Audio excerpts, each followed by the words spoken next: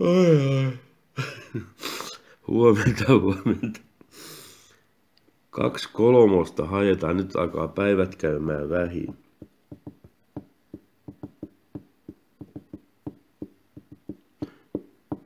Tuolla se on, mä ajattelin, että on unohtunut mallo. Se on taas tommonen vähän isompi, että jikiä odotellessa.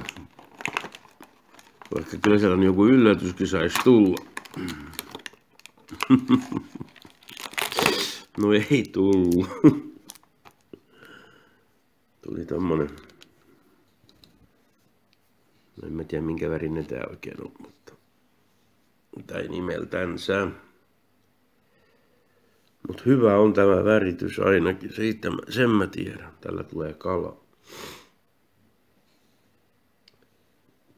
Ei muuta kuin huomiseen on se jännä päivä. Jes, jatketaan huomenna.